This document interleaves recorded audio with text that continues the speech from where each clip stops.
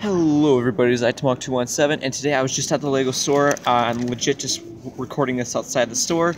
Here's the receipt.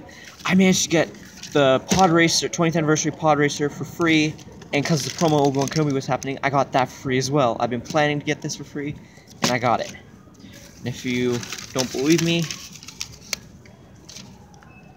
right there, zero dollars I had to pay.